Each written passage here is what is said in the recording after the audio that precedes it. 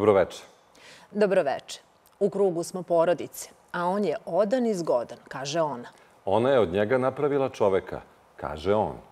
Oboje tvrde da je u životu najvažnije sresti svoju srodnu dušu. Od ove dve srodne duše srele su se u pozorištu. On kao glumac, a ona kao kostimograf. U braku su 23 godine i voljni da večera sa nama podele ono o čemu se govori samo u krugu porodice. Dobroveče, želimo Sandri Bugarin-Jevtović i Ivanu Jevtoviću. Dobro nam došli. Dobrodošli. Bolje vas našli. Sandra Jevtović-Bugarin je kostimograf, dizajner i umetnica. Prva profesionalna iskustva je vezuju za rad na kostimu u filmu, ali se ubrzo nakon toga oprobava i u sferi modnog stvaralaštva. Izrađuje obuću za pozorište u Beogradu i Srbiji. Jedna je od inicijatora i organizatora humanitarnog skupa Beograd Japanu kao podrška narodu Japana nakon pogubnog zemljotresa i tsunamija 2011. Naklonjena je sportskim aktivnostima, a u slobodno vreme bavi se i pevanjem. Ivan Jevtović je glumac, reditelj, profesor glume na Akademiji umetnosti i rock'n'roll pevač. Iako su mu preci bili gusari na glasu, on je ipak odlučio da svoj brod usidri u okeanu zvanom umetnost. Baš kao njegov otac Vladimir Jevtović, čuveni glumac, radiovoditelj i profesor glume na Fakultetu dramskih umetnosti. Stalni je član Beogradskog pozorišta Telje 212, jedan od osnivača avangardne grupe Torpedo. Pored pozorišnih, Jevtović je ostvario i dugi niz zapoženih uloga u filmovima kao što su Stršlje, Nebeska udica, Normalni ljudi, u serijama Urgentni centar, Žigosani u reketu, Kamionđije i tako dalje. E pa, dragi naši, nekako je najpoznatija definicija pozorišta da su to daske koje život znače, ali čini mi se da je to u vašem slučaju baš ovako jedan eklatantan primer i da su te e, daske zapravo i na neki način e, vaša sudbina. Jer je prvi pravi susret bio zapravo u pozorištu, je li tako? Apsolutno, da. To kako ste rekli, 23 godine, sad kad napravim tu reminiscenciju na, na taj događaj, je stvarno kao jedan ozbiljan život koji se desio umeđu vremenu. Pa da, jeste. Te daske smo mi zamenili nekim toplim, intimnim trenutkom koji je naš dom i sad smo tu dva umetnika i neka buduća naučnica. Ali kako iz... A, A, dragi naši, ovaj, ja a, bi odmah na početku rekao da mi je drago što smo ovde u, ovako u četvoro i što, smo, što imamo priliku da se ispričamo sada o ovim našim pričicama. O, ja bih se pozvao na naš susret od pre jedno 15 godina na jednom od uh, svečanih nekih povoda, ne znam da li je neki časopis pravio neku godišnicu, gde smo usput prokomentarisali par nekih stvari koje su bile aktualne, ali ja sam zapamtio i to sam čak nekoliko puta i ponovio, da se tada u spontanom razgovoru pojavila jedna vrlo tačna sentenca vezana za mene sa tvoje strane, Jelena, a to je kada smo se ispričali tako spontano, onda si pored svega rekla evo, je, ovaj, evo ga par u kome je izvesno da je jedna žena u stvari definisala i stvorila čoveka, odnosno umetnika. I to, evo, sad kažem, dragi naši, hoću da kažem javno da je to stvarno ovaj, tako i da mi je veoma drago što je to tada neko i glasno izrekao kao jednu definiciju i da mi je na neki način bila kao potpuni potvrda putokaza ili nešto u čemu naš odnos i dalje treba se razvija. Dobro, kad si već načeo tu temu, kako to izgleda kada jedna žena stvara umetnika? Zapravo, šta ona čini i kako je to delovalo na tebe? Pa, e, postoji mm, dve faze, u stvari. Faza bavljanja umetnosti pre poznavanja Sandre i od tog decembra 98.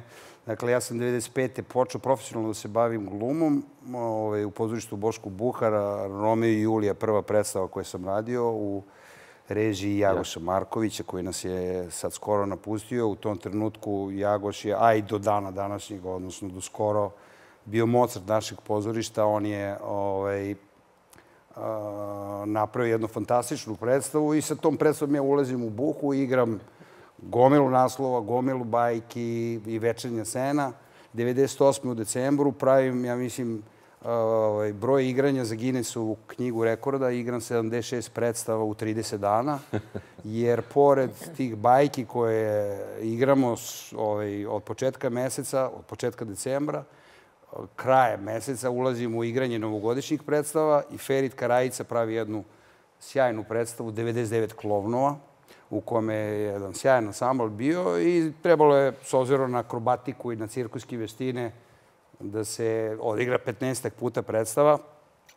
Ljudi su saznali da je nešto izuzetno i mi smo imali 42 predstave samo te. I uh, u Narodnom, u Jugoslovenskom dramskom, u Zvezdari, znači 76 predstava sam odigrao i pored toga mi se desio jedan značajan ovaj, koncert u Domu omladine sa decom loših muzičara koji su trebali da imaju dva, mislim da su imali četiri koncerta u nizu, toliko su bili popularni. I sticam okolnosti raznih, ovaj, tu se pojavi jedna devojka, ovaj, um, ovaj, sasvim slučajno. Sasvim slučajno, koja nije ni volela preterano desu loših muzičara, ali ubedila drugarica kao, pa dobro, evo, ja sam bila pro, na prošlom koncertu, to jest veče pre, pa ako hoćeš da kreneš i tu je ona digla obravu i nekako te dignu... Od, od te obrve krenulo ovaj, praktično sve, a i sad preskačem da ne smaram previše, u uh, uh, januaru, odnosno u februaru, kada je za, započela naša veza, ona je odmah počela da utiče na moje umetničke izbore, jer sam ja posle ovih, ovih 70, 76 predstava u decembru i svih obaveza u januaru, promišljajući o tome, rekao, ovo nema smisla. Ja jednostavno nekako moram da nađem neki ispravan putokaz i nekoga ko će da mi bude ne samo um, ogledalo, nego nekako nekog mog generala, mog šefa, nekog ko će ovaj bager da, ovaj, ovaj, da navodi na, na, na, na prave ciljeve. I stvarno sam zahvalan što ovaj, se ispostavilo da sam eto, bio u pravu. Pa da, kad ti dao sad ovaj šlagvort, to je nešto što ja često ovaj, volim da kažem. Ivan je stvarno motor, on je ono 4 puta 4, on je pogon u punoj snazi i uvek je taj koji predvodi, ima pravac, usmerenje, a ja sam onaj neki fini segment koji ide tako i ovaj, s vremena na vreme počisti to sve što on razrovari gde ta energija puca, tako da je to... Ili kao bagerista Joe da. upravlja svi bagerista. tako je. Ali, Sandra, je li teško to pratiti? Kako si izdržala sve to i kako si uspela da kanališeš, jer to je ogroman put? Pa jeste, mislim da je možda u početku najveći iskreno izazov za mene bilo uh, suočenje sa tom popularnošću koja se desila u odnosu na predstavu koju je tada igrao u Zvezdara teatru. Uh, gde je to mlada rok zvezda koja umire od AIDS-a. Znači, to je baš bio jedan vrlo popularan naslov. I sećam se da, da sam iskreno onako lično strahovala za svoj život, zato što je baza tih obožavateljki bila neverovatna. A, tako da, da sam imala nekako podozrenje, mislim, da li želim da se upuštam dovoljno daleko sa nekim ko, ko ima tu vrstu uh, opterećenje. Mislim, srećem, ono, slava njega zaista nije ne pokvarila, nego naprotiv, nije ga uopšte razuzdala u pravcu u kojem je to moglo da se desi kao mladoj zvezdi. Možda je to, baš to kaže, naš zajednički život bilo neko utemeljenje da napravimo neki, neki svoj red, ajde da kažemo, u životu. Napravili ste red u životu, izvini Aleksandre, ali ono što je dobro da Ivan, pored sve svoje vulkanske energije i toga da zahteva da ga neko prati i malo smiruje, nisi zapostavila ni svoj rad. Pa je tvoja biografija, kao što smo čuli, takođe impozantna.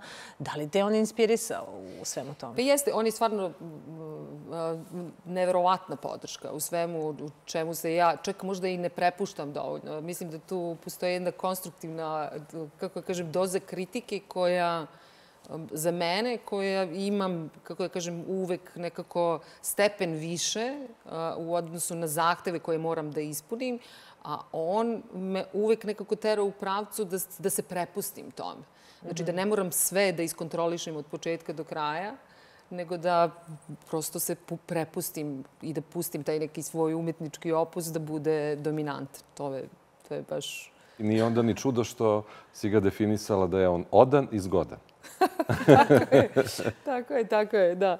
Pa, znate kako kažu, ima onak stara neka kineska poslovica, muškarac je glava porodice, ali žena je taj vrat koja okreće, vra, koja, koja okreće glavu. Tako da, ovaj, da, moglo bi tako da se e, Ivane, a, ali kad si ti shvatio da je brak zapravo timska igra i da je veza timska igra? Slušaj, ja sam uvijek bio dobar dečko. Aha, nego je neko ne, trebalo uvek. to da otkrije. Znači, samo je trebalo da dođe dobra devojka da, da, da ovaj, odabere, odnosno da pristane na poziv dobrog dečka da dođe na predstavu. I u, onda jedno po jedno. O, ovo što je rekla, o, uvijek mi je bilo čudno da bilo ko zamišlja u bilo kom od naših poslova da slava podrazumeva neke stvari ili neku dodatnu pažnju, sve oko glume i tog stice okolnosti ili više volje da se baš tako otvori i potrefi u stvari mogućnost da ja igram u tim predstavama koje su bile toliko popularne je, tada sam to shvatao potpuno korektno i ispravno, da je to tadašnji izazov, ali da se ne podrazumeva da ću ja uvek igrati takve uloge, tako da je to u toj fazi bilo samo jedna od posledica, zapravo ovo što kaže i za tu i za neke druge predstave, odjedan put se poklopilo da je to potpuno ovaj, bila neka logična reakcija publike. Ne znam, u toj predstavi bilo i bacanje majice, pa vamo, namo. I sad srećemo neke ljude, neke tete, ili čike koji su bili ljubomorni. Znaš da je moja žena bila, moja devojka. Da, mi, uh... samo da ti kažem, sad mogu da ti kažem. Ja kažem, nemam veze s tim. Dakle, jer na kraju krajeva kažem, to su samo posledice. Mi igramo različite uloge, neki, neke kolege igraju neke druge likove. Ja sam igrao u tom periodu te likove, tako da je to... Ali to si ipak mora da izvršiš prepad na finu čeljade i to kokicama, ili kako beš? Jeste, jeste, da. da ovaj, pa ta sudbonosna ovaj. predstava je u stvari uh, u Narodnom pozorištu je na maloj sceni Raša Plavović igrao uh, komad kokice. Tako je na koji je pozvao, da. da, na koji je pozvao, uh, ja sam dovela dvije drugarice, on nas je uredno uveo, ali je bio potpuno šokiran, pa kako mi ništa niste doneli? Mi smo se onako zatekle, mislim, smo... Ja sam vas pozvao u pozorište, a vi dolazite s poklonima ako se vas ja pozvao u pozorište. Mislim, to je normalno kako ne znate to, devojke? I onda su bile izdeređene, pa šta ćemo sad? Pa ništa, morate da me vodite na piće. Da, da, glumci su inače vrlo skromna bića. Možete da ih kupite samo sa jednim pićem. Da. da, da, da. I onda smo te večeri, ovaj, uh, u stvari morao sam da budem uporan i da sačekam trenutak da porazgovaram da, ovaj, sa Sandrom i da, sad možemo da kažemo to, da tvoju tadašnju drugaricu ovaj, u, bukvalno uguram u noćni autobus, zato što nije stala. Ona, zato što je pričala, ne, Sandra, nećeš sad da pričaš, sa mnom ćeš da pričaš. Sandra je, ima druge neke ovaj, priče i druge, ne, mene gledaj, sa mnom priča. I onda priča 12, 1, 2, u 2 i 10 je posljednji noćni bas. I ja znam o Stanojeviću, o košarkašu, ja znam da je odlazi, nije ni završila rečenicu, ja kažem, pa ja sam zbog tebe ovde. I to se sve odigrava kod Narodnog muzeja. Da, ne bi se ona ljutila, jel? Ne bi se apsolutno okay. ljutila, zato što, evo, dokaz je koliko traje. Pa i posle... Brzo je usledio brak. Niste dugo... Nismo, da. Nekih možda godinu i po dana da smo se upustili tu avanturu. To je stvarno bio šok. Da. Jer sam ja još bila student, Ivan je već bio u tim, da kažem, profesionalnim vodama mm. i prepustili smo se tome verujući da će da bude neka orijentacija pa da ćemo da putujemo. Mhm. Ali onda se ovaj, onda, ubrzo desila i Sofija. A onda, u, ne, ali pre Sofije, ovo, kako je došlo do, u stvari, pa godinu dana, znači vrlo da. brzo, u Domu omladine u Bunkeru je bio koncert eh, grupe Vroom, čiji sam član bio u tom trenutku i onda u sred koncerta sam na odgovarajuću pesmu, kao Adam, mislim, si išao dole i zaprosio je u, ono, u prisustvu ovih naših drugara. Da, u publici Nataša potpuno Marković, Anja Suša i tako da. dalje, cijela ekipa, pa se vratio i nastavio još, još ono, smelije koncert. A ovo je važno, znači kravata koju nosim, evo ovde je i ovaj, Sarajevo 1984, onaj znak, To je kravata koju se nasledio od Pavla Bugarina, od e, Sandrinog oca, koji kada je došao prvi put u Beograd, tada su bila one veze još autobuske, Znači, izašao je čovjek iz autobusa i ovaj, e, rekao je, do reči Ivane, Sandra, škola. Pre svega škola, znači nećemo ni o čemu drugo da... Ivane, kako ste? Ali Sandra! to, su, to su te ovaj, I divne pošto smo pedagoške- odmah shvatili o kome se radi, dakle, o- ovaj, a Sandra mi je već i pričala, pa dobro, on ume da bude strože i tako dalje, da napravimo malu elipsicu, ovaj, na nekom porodičnom ručku, ja zamolim Vladu i Tanju da napišu pismo o, kad smo se odlučili, kad sam već... Pismo o namerama. Pismo o namerama. Dakle, i onda su oni napisali pismo, koliko su im je drago i tako dalje, i onda mi nedelju dana ili deset dana posle toga odlazimo u Sarajevo i tom Pavlu, divnom, genijalnom Pavlu i Milki, ovaj, kažemo, evo, imamo neke novosti, znači, ali nismo odmah. Znači, bila je priprema. Komotno ručak jedno, sat i po dva, pa da, da, da omekseju. e? e, sad imamo i neke novosti, onda vadimo papir i Milka, ja, ja, ja, ja. Pa, dobro, I onda da Pavlu, onda je Pavle čitao jedno desetak puta to.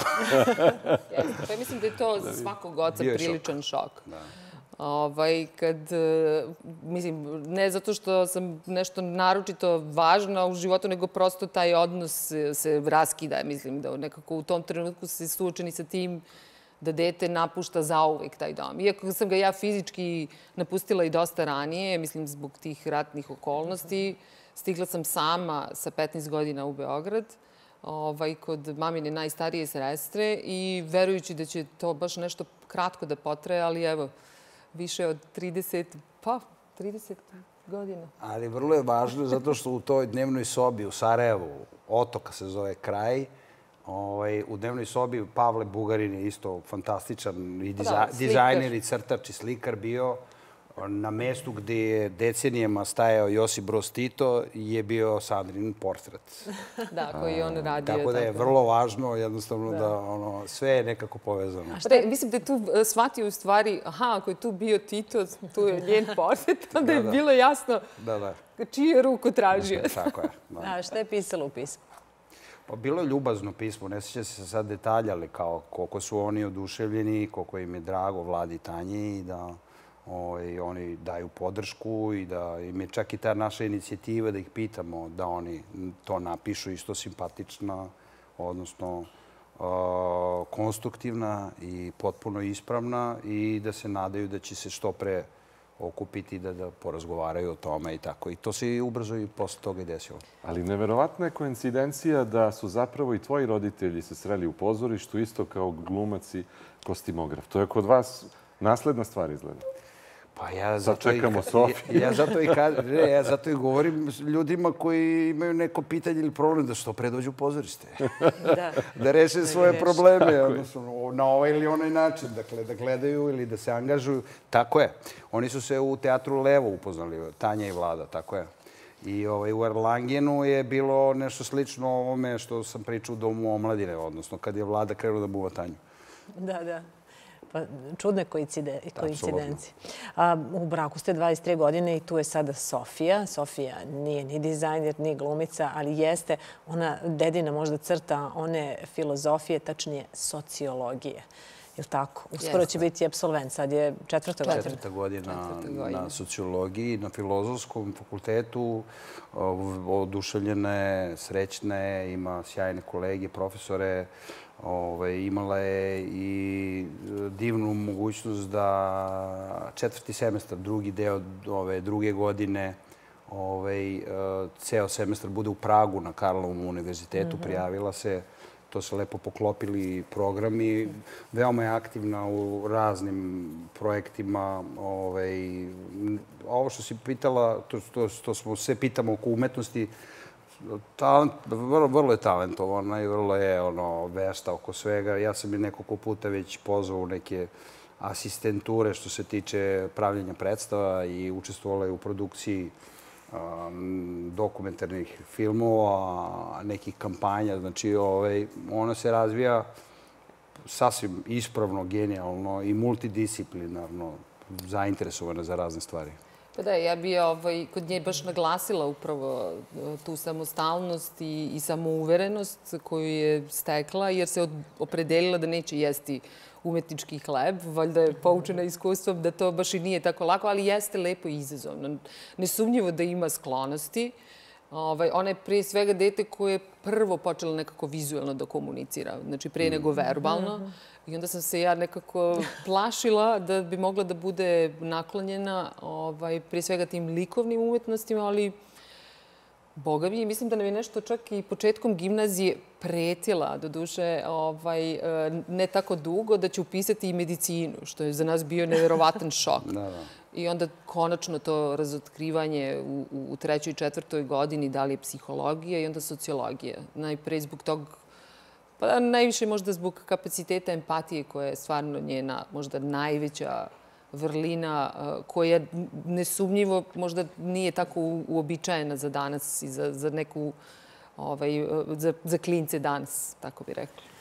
Čitali smo da su Ivanovi roditelji kako bili liberalni i slobodomni u vaspitanju dece. Da li su, Sandra, tvoji bili takvi i da li ste po tim postulatima vaspitavali Sofiju? E pa da, oni su bili umereno ovaj, liberalni. Otac moj je bio po vokaciji slikar, ali je praktično bio isto primenjaš zato što je uh, ovde to, mislim da se firma u, u Srbiji zvala Narodna radinost, a u, u Sarajevu se zvala Bosna folklor.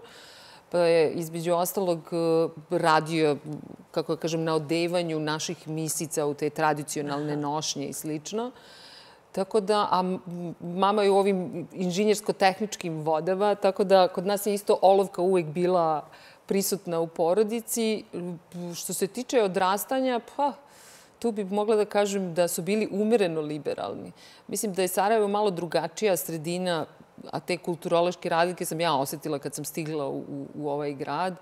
Prosto, tamo su nekako ambicije, mislim, ljudi bile malo skromnije nego u većem gradu pa su ta neka porodična okruženja potpuno uobičajen način komunikacije. Znači, kod nas su porodice jako povezane. Ja uvek volim da se šalim da smo mi ko Italijani. Ima nas mnogo, svi jako vičemo. Govori u isto vreme. Govorimo u isto vreme. I imamo svašta jedni drugima da zamerimo, ali nekako to rešavamo za stolom. I to je, recimo, možda najiskrenije nešto što, što krasi možda moju porodicu. Tako bih. E, Ivane, ako sam dobro razumeo, e, oca Vladu si definisao kao u kući jednog e, super tatu, a dok je na fakultetu ostavljao ovako utisak jednog velikog autoriteta. I da, zahvaljujući tome, baš zato su i pravljeni tako dobri glumci i da je imao prvo osjećaj da izaberete talente, a onda i na svoj specifičan način da, da, ovaj, da to sprovede u delo. Kako je uspevo to da ovamo bude topao i potpuno liberalan, što kaže Jelena, a ovamo su se tačno znali kanoni i uzusi ponašanja? Pa on je, ovaj, e, pošto je vlada rođen iz partizanske, iz ratne ljubavi Mihajla Markovića i Dobrinke Tripković, Ovaj, Evo da kažemo Mihajlo Marković, čuveni naš filozof akademik. Tako je. Jedan od redkih koji je ostavio veliki trag u evropskoj filozofiji. Tako je. Znači, Mihajla Markovića i Dobrinke. E sad, kad si pomenuo Mihajla, znači, Mihajlo e, dugo nije bio prisutan. On jeste priznao vladu. On je ovaj, u vladinoj 11. ili 12. godini ovaj, bilo je čudno njemu u ličnoj karti Vladimir Mihajlo Jeftović. A zapravo Za celu familiju je ovaj, verovatno za uopšte funkcionisanje i za život ključna figura Timotije Jeftović. To je ono, očuh vladini, naš dragi deda. Mi smo u nekoj 12. i 13. godini, to pošto je vlada bio sjajan i psiholog procenio da tada možemo da saznamo da debata Jeftović nije pravi deda, da postoji neki drugi deda koga ćemo da upoznamo u nekom trenutku. Ovo što si, da se vrati, da ne zaboravim, mislim da je kod Vladimira savršena kombinacija, u stvari, pošto je Vladimir studirao filozofiju i u trećoj godini upisao glumu, paralelno je studirao jednu i drugu i da je to savršen, u stvari, spoj za njega. Njemu dramske umetnosti za njegove intelektualne kapacitete nisu bile dovoljne i on je u stvari kroz taj spoj našao ovu idealnu nišu, odnosno polje delovanja i evo, potvrđuje se kad god sretnem njegove sve studente da, i, da su imali stvarno veliku sreću ovaj, da sa njim saznavaju šta je fenomen glume. I ja sam isto zahvalan, ono, to praktično, evo i danas sam imao čas glume i svaki put se ovaj, vraćam na te spise, pošto, pošto me on uveo. On je bio, u stvari, sjajan, sjajan trener. On je umeo, kako za svoje studente, tako i za nas isto, da nas uvodi u te utakmice. Mene već 2000. godine pozvao da mu budem asistent na Akademiji BK, tu gde sam se sad vratio da je radim.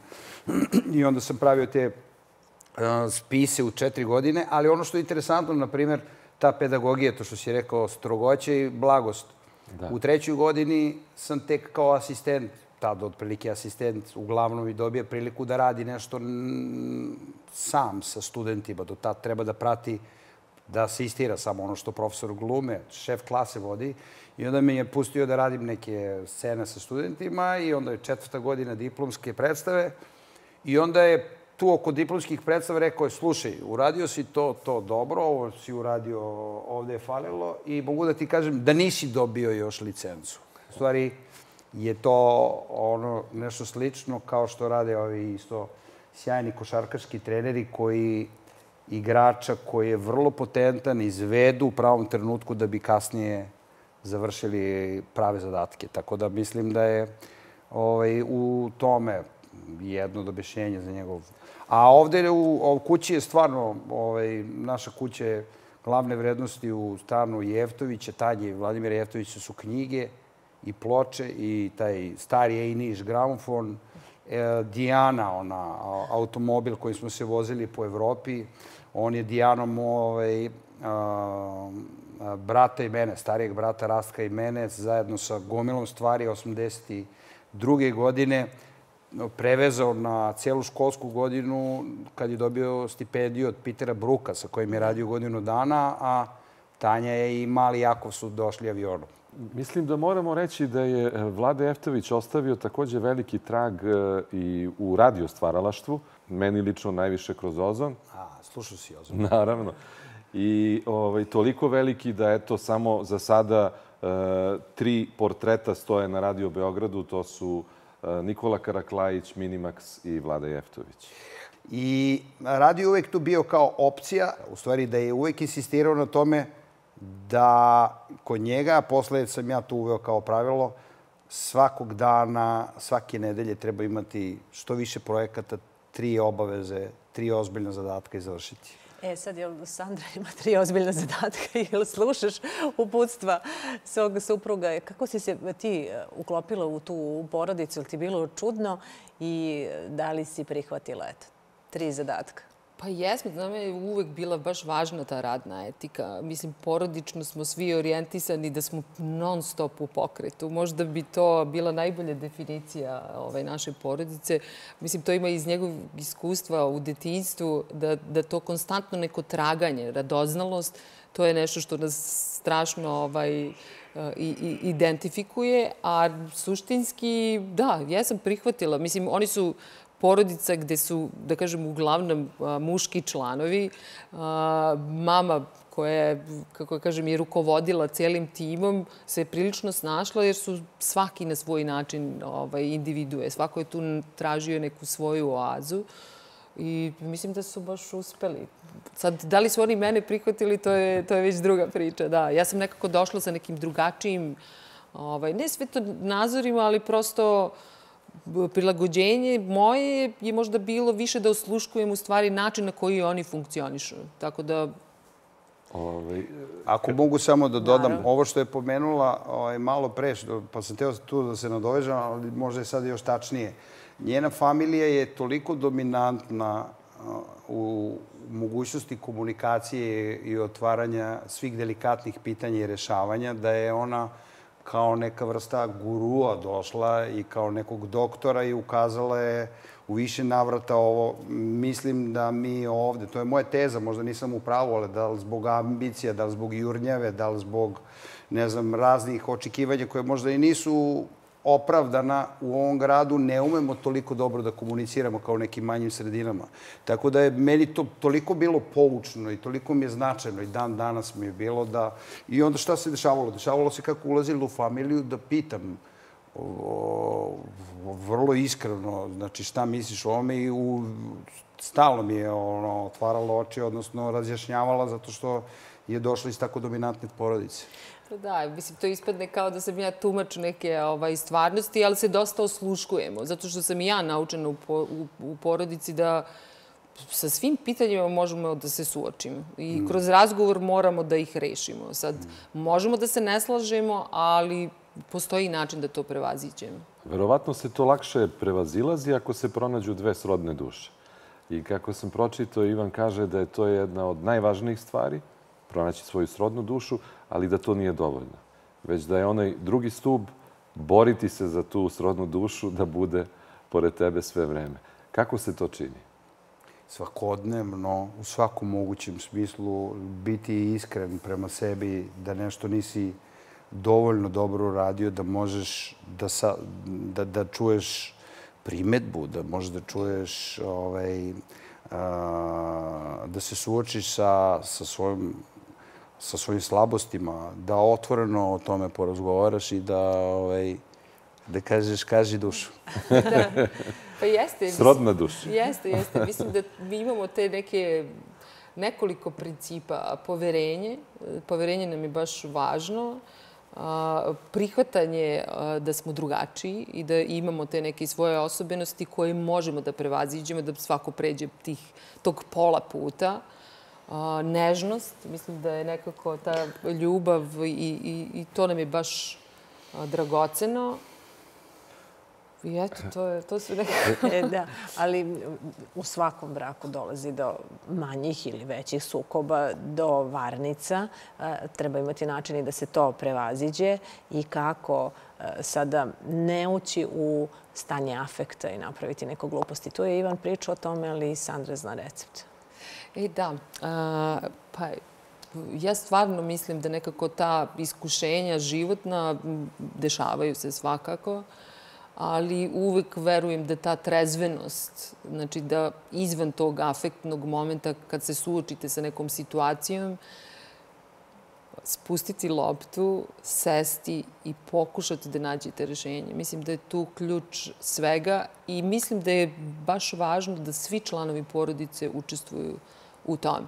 Možda zato što se bolje e, čuje i objektivnije kada neko to sa strane, a to može da bude i vaše dete, ovaj, nekako se suoči sa celom situacijom, pa onda dobijete tu pravu dijagnozu mhm. ovaj, sa, sa te strane.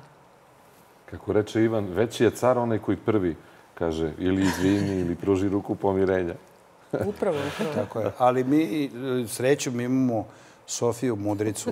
Na sreću. Jeste, jeste. Koja sad... Nije slučajno dobila to ime. Ime je znak. Da. Tako je, tako je. Zato što, evo sad, u odnosu na, na njene studije, nekako ona dođe kao taj faktor ovaj, stabilnosti. Ne zato što, mislim, sad, sad su prohujali svi ovaj, vetrovi. Ne kažem da već ono, svodimo račune, ali mi imamo neki svoj mir, imamo neki, neku svoju putanju ali ona tu sad prava ono, mera stvari. Ona nekako pokušava, diagnostifikuje i naše odnose i neke dublje familijarne odnose da bi ona znala gde treba da bude. Mislim da je imate to... i vaš mir i vašu putanju, ali koliko mi znamo imate i vaše uh, svakodnevne rituale. To mi je palo na pamet ono kad ste rekli za svaki dan treba tri važne stvari i tako dalje. Ali početak dana, koliko sam ja pročito, je veoma specifičan, da je Ivan zadužen za kapućino, a ne znam ko je zadužen za ploče, ali znam da ste oboje zaduženi za pesmu i igru. Je li to tako stvarno? Jeste, istina je stvarno, da. Svaki dan tako? Da. Puštate ploče, pije se kapućino. Da. Pa da, e, to su neke uloge koje, ja mislim, mi dajemo ovaj, e, međusobno. E, to kad me deca u školi pitaju, profesorka, taj vaš stil, to je toliko eklektično, ja kažem, pa da, zato što ja svakog dana kad se probudim, zadam sebi ove okolnosti u kojima sam, pa kažem, evo, danas sam u Kopenhagenu i obući ću se tako. Tako da ja mislim da su nama ti ovaj, jutarnji e, rituali oblikovani kroz muziku. Znači, mi to stvarno idemo od e, Afrike, Amerike, Engleske, ne znam... Pustimo ploče, onda se obučemo. to mu tiče. A kad pevate, šta pevate? Šta ste se vdalinke služali danas pa ste se tako obukli? Ali vidi. Ne, ne, ne, ne. ne, ne, ne. Znači, ja, ja a, ovaj, sačekam da dama odredi boje, pa onda ja nađem nešto da bi Da. odgovorio da bi bili u nekom... Da, a ovo Sarajevo, naravno, cela Šalim priča. Da. Pa, kaži... Kaži kad ti, uvek ti. Pa ne, meni je, meni je to simptomatično nekako, ta naša interesovanja nas zaista povezuju. I kad me pita neko da li postoji ono receptura za dugo trajanje u braku, ja stvarno mislim da na kraju te različitosti koje se uvek nekako a priori stavljaju kao teza suprotnosti se privlače, to kod nas apsolutno ne stoji, jer a, naše suprotnosti su možda prirode burne, jake, dominantne, ali mi zaista volimo slične stvari. Znači, volimo muziku, to nas pokreće, to nam je možda naj, najveće, da kažem, dostignuće zajedničko. Ta muzika nas oblikuje. Pa dobro, i razni ovi sportovi što su pomenuli, pentranje, Jeste. no, ti redovno ideš na planine i na brda, ja se priključim nekad kad Da, sam ja sam slobodan. brdsko-planinski tip. Onda sam te ja navukao na vožnju bajsom. Tako je. Više tako je. nego što je to bilo ranije. Putovanja po svetu. Da. To, to su nam strasti koji nas baš povezuju. To da, da smo večito redo, I ne samo po svetu, i po Srbiji, naravno. Da. Srbiji i svetu. To je svetu pa Srbiji. Da. Imate još jednu stvar koja vas povezuje osim muzike, pričat ćemo i o tome jer ste aktivni i jedno i drugo, ali imate braću. Sandra ima brata, Ivan na sreću dvojicu. Znamo za Raska, on je pisac, znamo za Jakova i profesor u petoj gimnaziji srpskog jezika i književnosti. Deca ga obožavaju, znamo i da je Jakov uspešan glumac. Kako je izgledao taj odnos sa starijim, a kako sa mlađim bratom? I koliko su braće važne u tvom životu? Pa, ovaj, Rastko, tri i po godine stariji, ovaj, je, da budem vrlo iskren, to nije velika razlika mi smo se uvek takmičili dosta. Ovaj, koklici smo se takmičili u tim sportskim disciplinama, o, ne znam, basket, to je košarka, pardon, basket, košarka, fuca i tako dalje, ali Rale je ako smijem tako, da, neće se odljutiti, je uvek imao toliku energiju da organizuje stvari, da smo mi u MZ, mesna zajednica Sutjeska, to je 33. blok, pored Geneksa, zahvaljujući njegovoj organizaciji, nekoliko puta je imali olimpijske igre. On je čovek organizovao ne samo decu, nego i omladince i seniore i neke penzionere da u 6-7 ulaza, znači sve sa tabelama, skok u dalju, onaj pesak, pa onda trčanje, nije, nema, kva, nema krug, nego onaj, onaj kvadrat, ono, ne znam. I onda sam ja uvek kao, daj da stignem, daj da ono, ovaj, se takmičim sa njim. O, o, u fuci sam bio malo bolji. On, on jeste bio izazov. U školi bio fantastičan, u osnovnoj školi. E, To, to mi je bio ovaj, neko koji sam, to što kažem, dobar dečak, ali ne preterano zainteresovan za školu, osnovnu školu. Priličan teret, dolazim, a on je već, ne znam, zmajeve ove, nagrade i sve. I ovi, e, evo ga, mlađi Jeftović, da vidimo šta tu imamo. Au, Kad on? ovaj crni, ovaj crni, nešto, ono, nešto nije u redu. Ovaj, a, a, ovaj, ali o, radi se stvarno o izuzetnoj osobi. Rastko je o, i sjajan pisac. Ljudi ne znaju dovoljno da je on napisao o, sedam romana ovaj, i ima toliku količinu energije i želje da ovaj, organizuje dramsku grupu u, u petoj gimnaziji već decenijama, da vodi klince i na Baš predstave da. i na filmove. I to je prava profesija za njega, jer ono, kad se Beše seti... i Orah je imao neki. I Orak je kao bend, znači, od, znači od po- srpske poezije, pa su pravili pesme i tako dalje.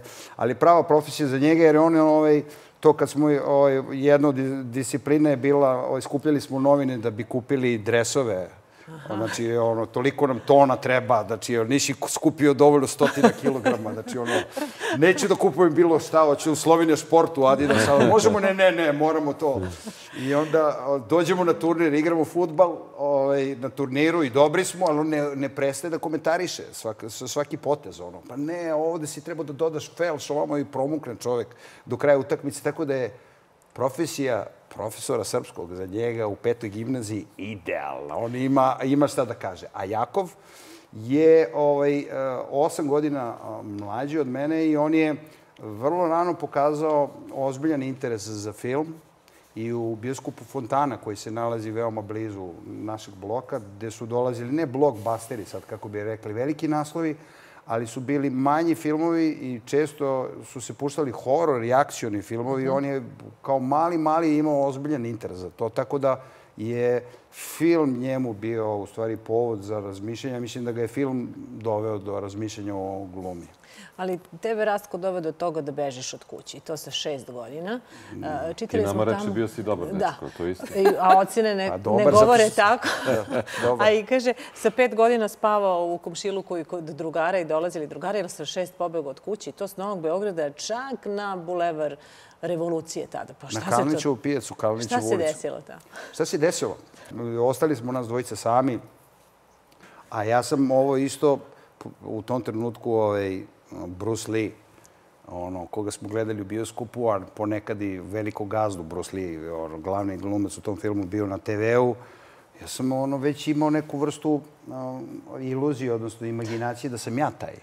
I da ja, da će ovaj grad ovaj, moj i ja se obučem i krenem i onda preko Novog Beograda i preko Brankovog mosta, vizualno kako se seća ovaj, Dijanom, kako smo dolazili do Kalnićeve pijace, do Dede i Babe, kod, kod mhm. Trajka i Vojke, do Pešačim, znači, ono, sad to ima pacer, da bi izbroji korake. Mhm. Znači, do Pešačim njih nije bilo kući, vratim se na terazije, ne pada mi na pamet da se vraća na Novi Beograd, zato što u mom filmu, u mojoj priči, svašta će da bude dobro i naravno da bude dobro zato što je u taksi ušao Slavko Štimac koji je u to vreme Salaš u malom ritu, znači Bruce Lee na svetskom nivou, a izad je Slavko Štimac.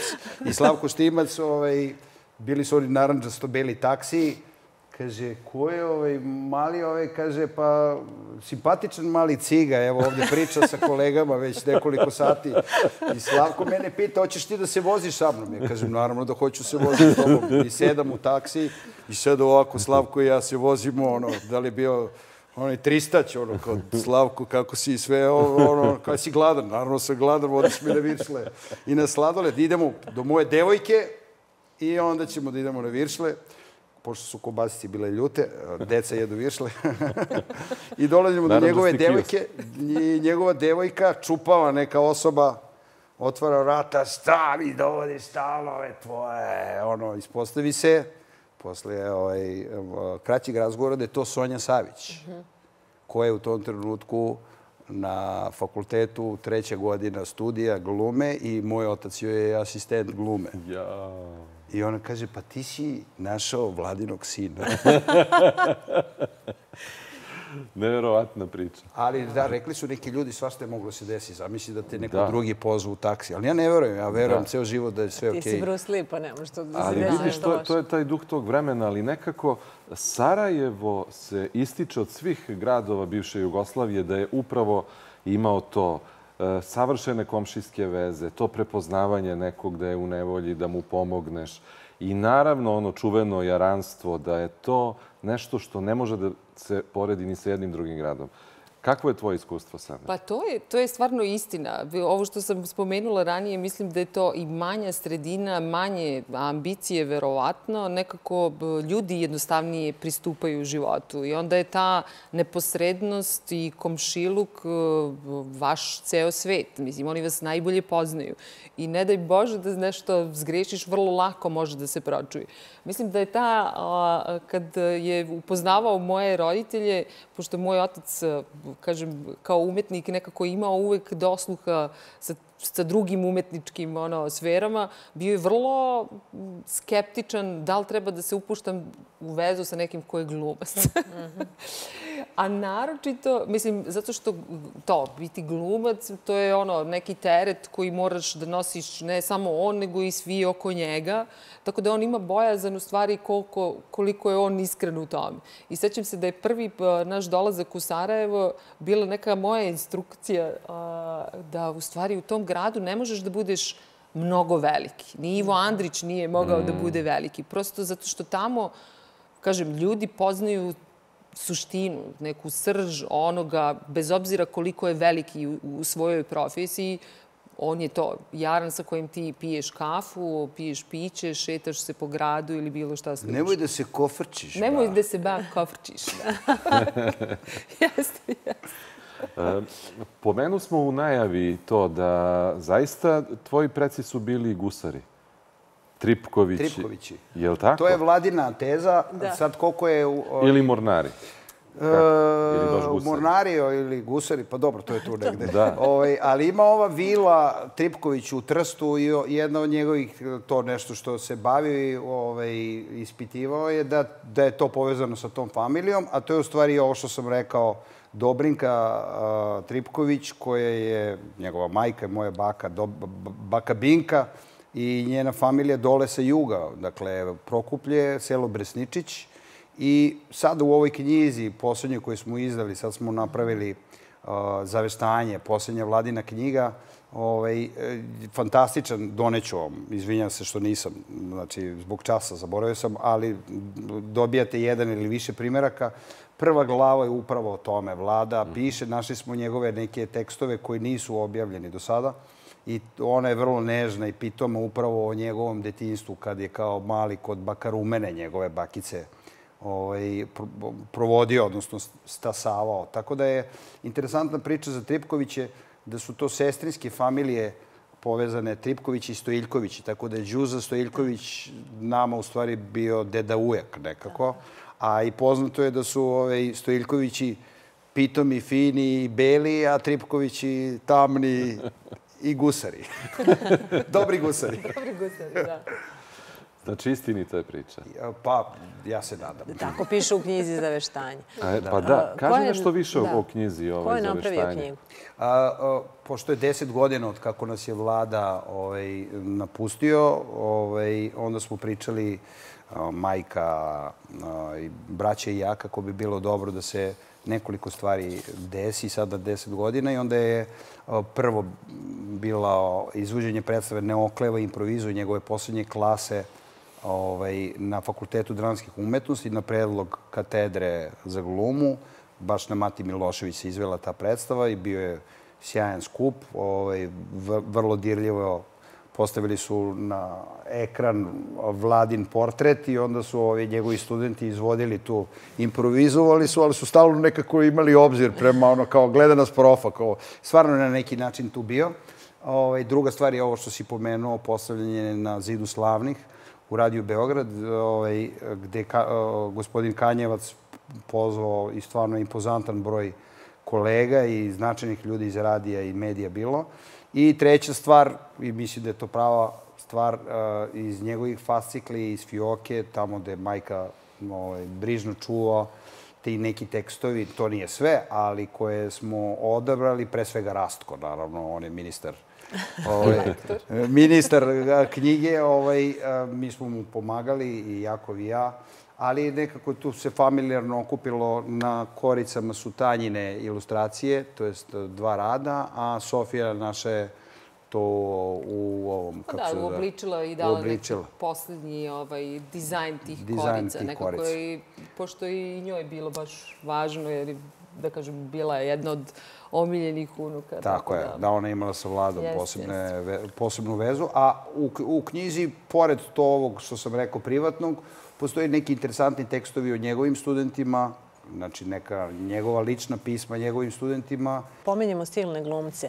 Neki su ovde sedeli džaci e, tvoga oca, studenti tvoga oca. Ajde da pomeneš samo neki, to su zaista ogromne glumačke veličine. Pa, Vesna Trivalić, Mirjana Joković, e, Manda, Boda sa druge klase. Evo, gledali smo preksinoć Magbet u Narodnom pozorištu, Nebojša Dugalić, Mićanović, ovaj, Glogovac, Sergej, Nela, Nataša, Nebojše Milovanović i tako, veliki broj, ali ono što je dobra prilika da pomenem, pored svih tih sjajnih ljudi koji čine zapravo glumačku ovaj, veliku snagu, on je osnovao i Vladimir je osnovao akademiju u Prištini.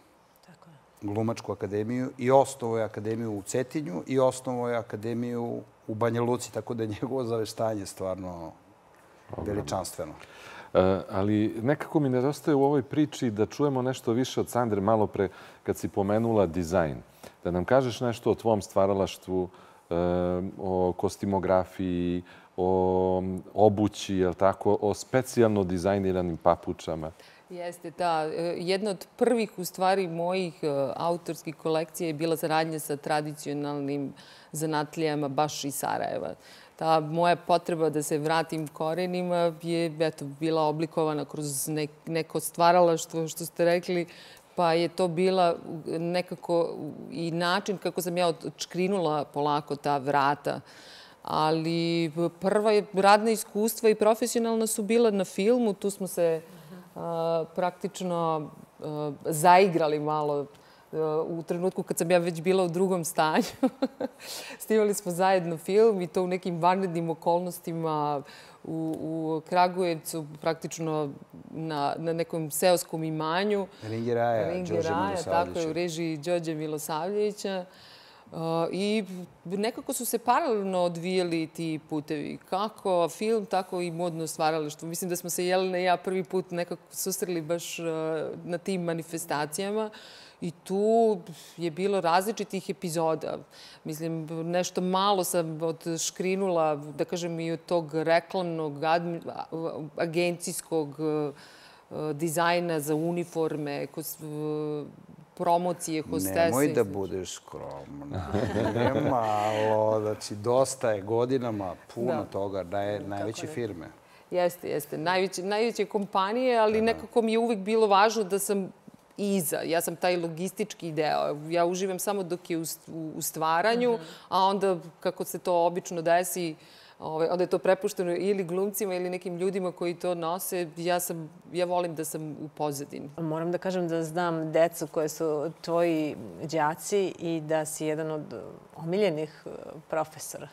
E pa da, to je, to je ovaj, e, sad više nije ni epizoda, tu sam već 15 godina. Uh, radim u, srednjoj školi Tehno Art. Taj pedagoški rad je zaista interesantan. Znači, tu su nekako izazovi drugačiji. Morate da dišete, da diagnostifikujete tačno temperaturu tih, eh, tih tinejdžera, da vidite kako oni funkcionišu, da komunicirate sa njima i da pokušate da, da ih nekako usmeravate uh, da to što su izabrali možda bude njihov poziv, ali sasvim legitimno i ne. Još jedna vaša veština ovaj, koju smo malo samo rekli, a to je zapravo veština pevanja u, u rock'n'rollu.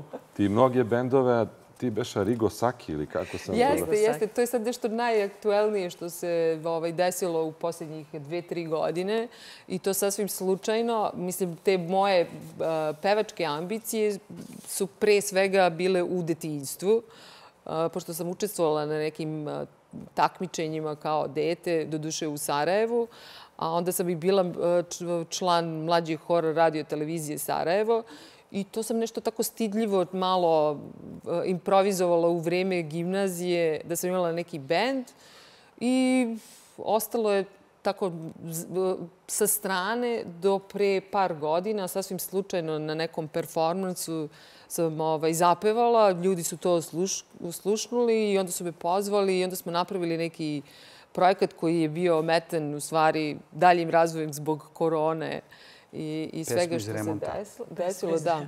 da. U pitanju je u stvari uh, jesenji orkestar ili autor Daniel Kovač koji nas je okupio neku grupu entuzijasta koji su se dodatno uh, angažovali da posle svih svojih poslovnih obaveza spontano se okupe i pevaju nešto a kapel. Ali to Rigo Saki, to je isto neka epizoda, tako reći, moje dobre drugarice, čiji je suprug u stvari krenuo u autorske vode. On je uh, Aleksandar, koji je u stvari i autor i, i inicijator tog benda, je dugogodišnji član a, prljavog inspektora Blaže. I Kljunova. I Kljunova, da. I praktično je napravio neki album, tu smo nešto otpevali. Ja nisam verovala da, da ću uopšte da se upuštam u to.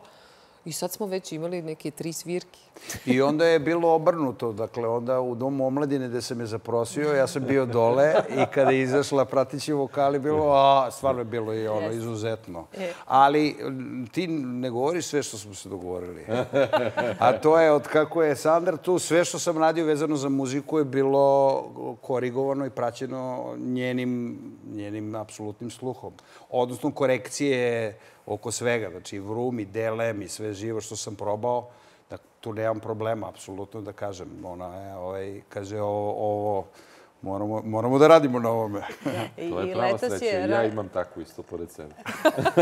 Pevat ćemo na kraju. Letos e, je bilo burno radno leto. Imaš e, pevačkih iskustava velikih, ali ja ću povezati tvoje pevačke iskustva sa pozorišnom predstavom i sa serijom i filmom koji si snimao ovog leta. Pozorišna predstava Dom za vrešanje, gde si uskočio umesto, to je zapravo rok opera Neleta Karajlića i jedina varijanta Kusturica. ovaj, je bilo moguće da to ti uradiš. A letos Jay. U ju, uh, prošlog, znači u pro- proleto smo radili, Nedelja se zove projekat. O, snimao se, snimali smo film i seriju o Džeju Radam- Ramadanovskom, Ramadanovskom, tako je.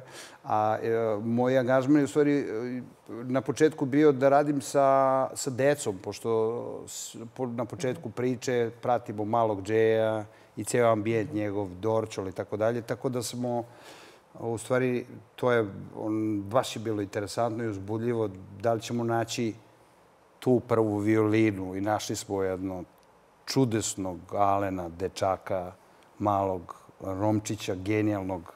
Jedva čekam da, da gledam to. I sa kojim sam imao sreću da radim i ne samo sa njim, nego i njegovom sestrom i sa drugom decom. Dakle, tu su i crni, i beli, i crveni, i žuti i tako dalje. I o, posle toga su me producenti ono, pitali da radim i sa, sa starijima, a onda se pojavila i ta uloga i mislim da se radi o jednom vrlo uzbudljivom projektu i filmu i seriji koje, koje će da ima odlične reakcije, to sigurno. A ovo je, da, za ovaj, dom za vešanje, to je bio veliki izazov i bilo je onako iznenađujući. Znači, tu je došlo do neke promene, moralo da se uči na pamet, ono, vrlo brzo, da se seća. Ja sam, ono, šetao kroz ovaj, stan, ono, Ja sam, ja sam često ova refleksija koja mora da dobacuje tekst, eh, preslišava i tako dalje. To, su- to su naši početci, realno. Da, da, tako da, da. sam ja kao odraz ono, u ogledalu, Da, gde da, on Sandra, uvek molim te, baci mi disanje, tako. Da, da, čitaj mi sve o druge. ovo sve, tako je, Ali ovo na ciganskom nije bilo lako. Pa nije bilo lako, da. Pa kakav je bio rad sa profesorom? Pa, o, kratak i o, vrlo značajan. Vrlo sam, ovaj, baš sam zahvalan. Mislim ovaj, da sam imao tu priliku da uletim u to. Ja ne mogu da izdržim da nešto ovaj, ne pitam. Naime, pročitao sam jednu izjavu tvoju, Ivane, gde kažeš ne, meni je najvažnije u životu da ja slušam moju ženu. Jer šta ona kaže, to je za mene dobro i ja samo želim nju da slušam i onu, nju da pratim. I ja sam teo da pitam Sandru, je zaslužio za to jednu zlatnu papuču? Jesi mu izvezla specijalno dizajnira? Pa ja je nosim od početka. Apsolutno. Tako je. Znači, ona je I došla iz Sarajeva sa papučama. Tako je, tako je, ona je custom made već od, od Ona je dana. papuče i džezvu od koje smo krenuli da se kućimo. Tako je, Tako je. tako je. Da, mi smo zaista krenuli ne od kašike i viljuške, nego od džezve. Pre, pre papuče je bila džezva. I, apsolutno. Tako je. I, prve šoljice. I šoljice, tako je. I onda mic po mic. To je to. Kafa nas je održala. Kafa, Njoj sad je. Kapućino i ploča. Tako je. Mnogo vam hvala na ovom razgovoru. Uživali smo. Hvala vama. Imamo još mnogo toga da vas pitamo, ali to ćemo privatno i pevaćemo privatno. Obavezno. Apsolutno. Hvala. Hvala vam. Hvala vam. Poštovani gledalci, hvala i vama što ste bili sa nama. Prijetno večer.